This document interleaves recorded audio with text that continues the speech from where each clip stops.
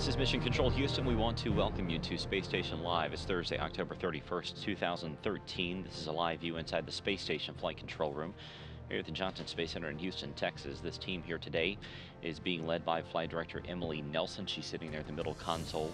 Sitting beside her in the white shirt, David St. Jacques from the Canadian Space Agency. He is today's Capcom, talking with the crew up on board the space station. Expedition 37 is busy and in progress currently on board the orbiting complex. The crew is working on a variety of different uh, experiments and other activities, uh, getting ready for quite a number of busy weeks upcoming.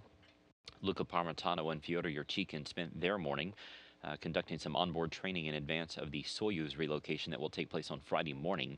They're going to be moving their Soyuz that brought them and Karen Nyberg up to the station uh, back in May from the Rassvet module that's on the uh, Russian segment over to the Zvezda service module that's at the back end of the Russian segment.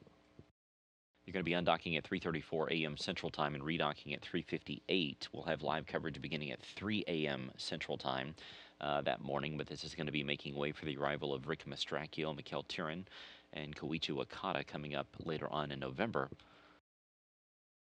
So again, we'll have live coverage beginning at 3 a.m. Central Time as they take a quick trip around the neighborhood and move their Soyuz over uh, from one port to another.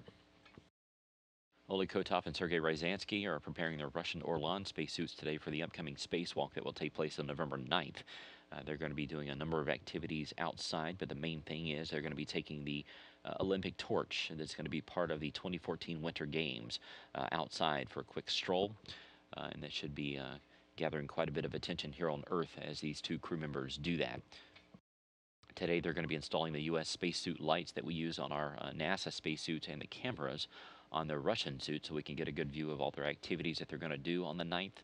Their spacewalk will begin at about 8.30 a.m. Central Time, and of course it'll be seen live here on NASA television. Kotov, Ryazanskiy, and Mike Hopkins also have some onboard training today with what's known as the Crew Healthcare System, or CHECS for short. They're going to be practicing their CPR skills and also use the uh, AED. That's just like you would find here on the ground. It's a defibrillator that they use on board. They do this just to keep their skills sharp. Uh, as they uh, have sort of a mini hospital on board that they're going to be practicing with later on today. Hopkins also going to be working on something today called the reversible figures experiment. Research has shown that the way that the crew members perceive three-dimensional objects changes a bit when they're up in space. They have sort of different uh, visual cues and their brains and their eyes sort of act a little bit differently. So this research helps determine how the crews use what they call linear cues and different perspectives before, during, and after flight. What they basically do is take a look at some reversible figures or sort of an optical illusion if you've ever seen something like that here on the ground. And uh, they have sort of a, a, trigger in their hand that they indicate uh, whether they're seeing A or B. There's sort of uh, multiple choices that they can pick. While he's doing that, Karen Nyberg is taking some surface samples around the station today, and she, Parmitano, and Yurchikhin are also continuing their departure preparations as they get ready to come home in just a few days. This crew is about to wrap up almost six months up in space. They're going to be landing in just a few short weeks. But before that takes place, we want to take a look at all the different programming activities we've got here on NASA TV, beginning with the launch of Mastracchio, Wakata, and Tyurin coming up uh, on November the uh, 6th. Our launch coverage will begin at 9.15 p.m. Central Time. The actual launch will take place at 10.14. And then early on the morning of Thursday, November 7th, we'll have docking coverage at 3.45 a.m. Central Time as the crew gets up to the space station in about six hours, about four orbits of the Earth. The docking will take place at 4.31 a.m. Central Time. We'll be back later on that morning at 6.15 a.m. Central Time with hatch opening coverage.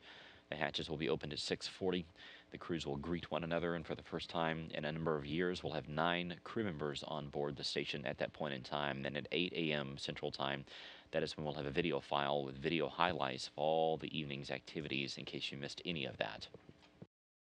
And then for the landing of Fyodor Yurchikhin, Luca Parmitano, and Karen Nyberg, we also have a full slate of coverage beginning at 1.30 p.m. Central Time on November uh, 10th. The actual hatch closure will take place at 2 p.m. Central Time as the crews say farewell to one another. Undocking coverage will begin at 5 p.m. Central Time with the actual undocking taking place at 526.